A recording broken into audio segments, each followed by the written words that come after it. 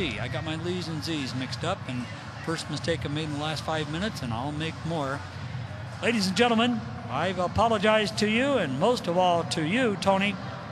Tony Z of Illinois. I think we'll see Garrett Lee. I saw his name on